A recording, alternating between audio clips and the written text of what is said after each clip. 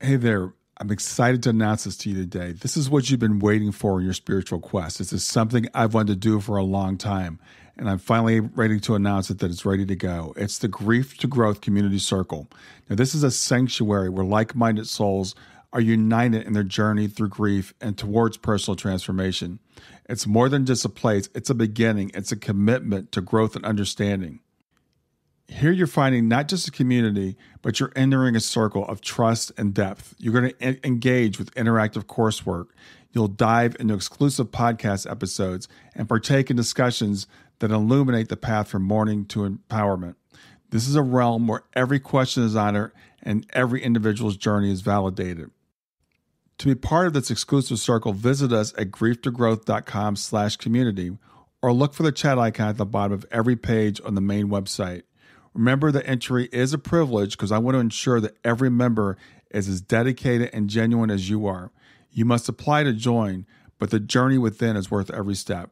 So go ahead and join us today. Check it out, grieftogrowth.com slash community, and I look forward to seeing you there.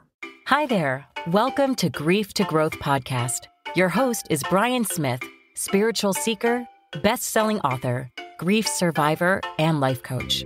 Brian believes that the worst tragedies of life provide the greatest opportunity for growth. Brian says he was planted, not buried, and he is here to help you grow where you've been planted by the difficulties in life. In each episode, Brian and his guests will share what has helped them to survive and thrive. It is his sincere hope this episode helps you today. Hey there. Wanted to answer a question that I got from one of my listeners slash viewers. So I appreciate you guys interacting with the last video I did with the questions, and I'll keep these going as long as you're interested in it. And this is a you guys don't ask easy questions. This is a question though that's very common that comes up, and I'm gonna I'm gonna frame the question, then I'm gonna, I think maybe expand it a little bit. So the question is, when we cross over, when we when our bodies stop functioning, when we die, to put it simply, do we have a choice of coming back? Uh, we have heard reports of people who have had near death experiences that have been given choices uh, or been given a choice to come back and they've chosen to come back. We've also, though, frankly, been told of people who have been given a choice to come back or not given a choice and were just sent back. So the question that this was prompted by the fact that this person's loved one, their their son, passed in a similar way to my daughter. He was a young man sudden unexplained death. My daughter was young, she was 15, sudden unexplained death. And so when we hear someone who's had a near death experience and been given the choice to come back, we think, well, this person was so young and vibrant and loved life so much. Why weren't they given a choice to come back? Because I know they would have chosen to come back. So the thing is, frankly, we don't know that they would have chosen to come back. We have heard people, even people who were mothers that had young children that were here, that were given a choice or not given a choice, but were told, you know, that they had to come back and they decided they wanted to stay because it was so great there and they knew everything was here was going to be okay. So we don't really know what we would choose or what our loved one would choose if they had been given the choice. And frankly, we can't know if everyone gets a choice because, as I said, we know that some people don't get a choice uh, and they're sent back without having a choice. We don't know if people cross over and don't have a choice and are required to stay.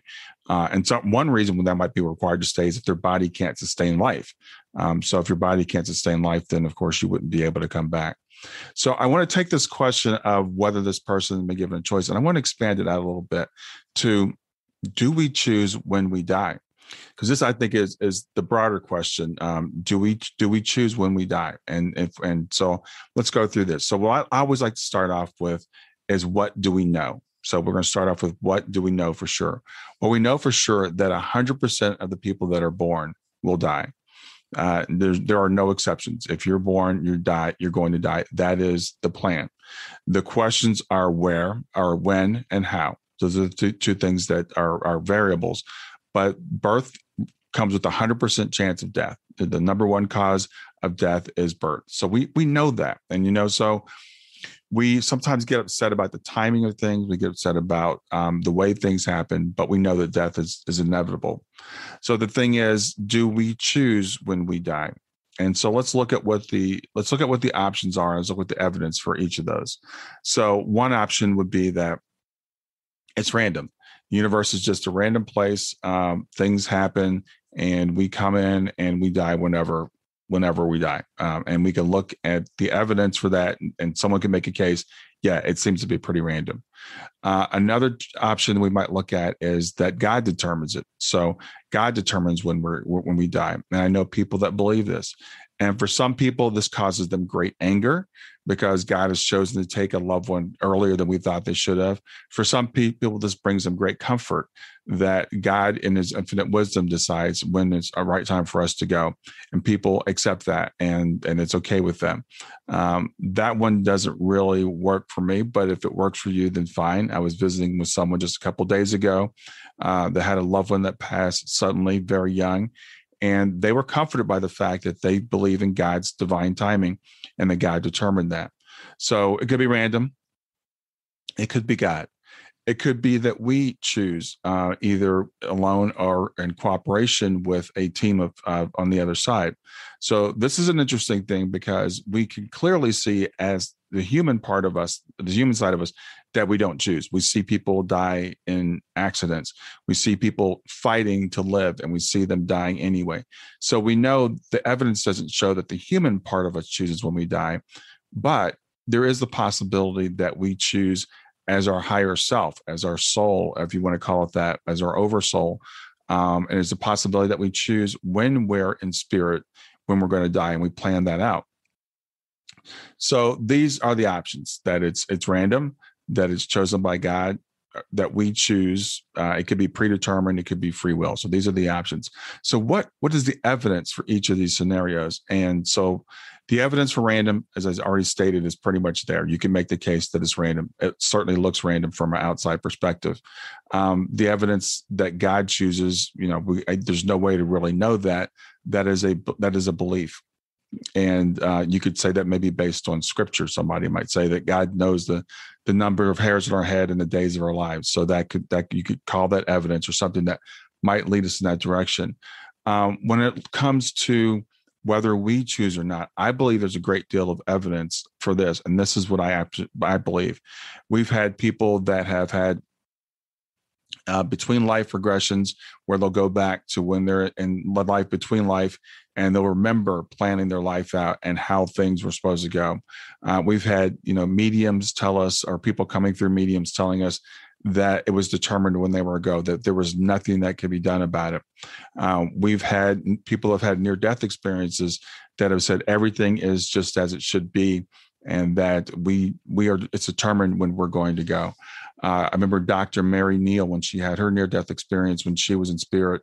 She was told that her son would die at a very early age. I believe it was around 18. And it was about 10 years from when she had this experience. And no, in spite of whatever she did or whatever she believed or whatever, it did come to pass that her son did did pass at that time. Uh, I happen to know someone who is an intuitive, a medium, who says that she knows when people are going to transition, uh, including herself and her loved ones. Um, and so in that case, uh, at least what her, she's reported to me, there's really no choice. Um, there's some people that have said that we have multiple exit points, that there are multiple points in our life where we might have we might choose to go, but we can't apparently go past that last exit point. So that's that's predetermined. So the thing is, whichever these things we choose to believe, we can find some amount of evidence for it. I think the preponderance of the evidence points to the fact that somehow that we choose either well, when we're in spirit before we come here or as our higher self, how long we're going to be here. And I think we choose it that way. And it may not it may not fit in with what our human point of view is. You may you might say, well, who would choose to pass at, at 15, for example? Who would choose to pass as as an infant? Um, and in some cases, even our, our, people have had children that pass in their 30s or 40s, and their their life was too short. And who would choose that? So, as our human self, we probably wouldn't choose that. But as our higher self and seeing the bigger picture, we might choose that for the benefit of our soul for this incarnation and or for the benefit of our loved ones. Another thing I want to say while I'm talking about this is I think it's very important is especially with young people, we view their their transition as a tragedy that their life was cut short, that they weren't able to enjoy their life, and that they should be here and enjoying all the great things about life. Well, there's a couple of things that's that's actually kind of wrong with that point of view. And I want to point out what those are. First of all, their lives were not cut short. They we when we transition continue to live in fact we live more abundantly a, a, better life so when we think about our loved ones and we think about what they're quote missing uh, keep in mind that they're not really missing anything that they have they have moved on they have graduated i would call it uh, to a to a higher level. The other thing is that kind of comes from the point of view that this one life is all there is where it's it's a one and done point of view. So if you're going to come to this earth you would think you want to stay here as long as possible to get the most out of it as possible um, because you only have one shot. Now again you you might choose you might believe that i believe there's enough evidence to show that we come to this earth over and over and over again and that it's not just one shot. So in any one life if that life, happens to be short or tragic or full of pain or whatever our souls don't view that as a loss because it's just one experience out of many. So those are my views on whether we choose um, when we die, uh, who chooses when we die, and we can examine those, and you can examine those and determine first of all which one makes the most sense to you, which one has the most evidence for for the it. The other thing is try each one on because we can't, frankly, really know this for a fact while we're here. So try it out. What makes you feel comfortable? What brings you peace? What brings you joy? And if even any of them don't bring you peace and don't don't bring you joy, then you don't have to choose to believe that. There are other options you can choose that do have evidence. I'm not just saying choose which one feels best to you or makes you feel the best. I don't think it's all about wishful thinking. For me, I feel more empowered by knowing that there's a plan that I participated in the plan, not that just God imposed this on me and God put me here and said, this is what you're going to do. But it's a cooperative thing. It's we're we are co-creators in our lives.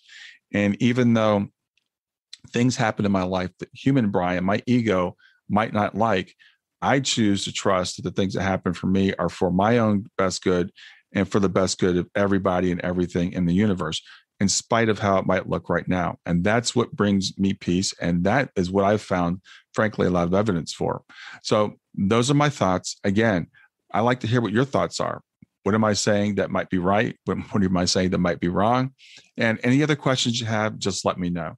So have a great day, and I'll see you soon. Thanks for listening to Grief to Growth. Brian hopes that you find this episode helpful and will come back for future episodes. Brian's best selling book, Grief to Growth Planted, Not Buried, is a great resource for anyone who is coping with grief or knows someone who is. If you enjoy the podcast and would like to support it, there are three things you can do to help. The first is to share the podcast with someone that you think it will help.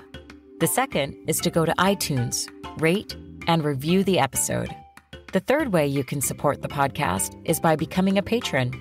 Head over to www.patreon.com slash grief to growth. That's P-A-T-R-E-O-N dot com slash grief the number two, growth, and sign up to make a small monthly donation. Patrons get access to exclusive bonus content and knowledge that you are helping to spread the message of grief to growth. For more about Brian and Grief to Growth, visit www.grieftogrowth.com. Hi there. I hope you enjoyed this latest episode of the podcast, and I'd love to hear your thoughts. What questions came up for you? What did you like about it? What didn't you like about it? I invite you to visit us at grieftogrowth.circle.so. That's grief, the number two, growth.circle.so to continue the conversation with me and with other listeners. It's a space to sound off, to share reactions, and to go deeper into the topics from the show. I look forward to chatting more, and I hope to see you there.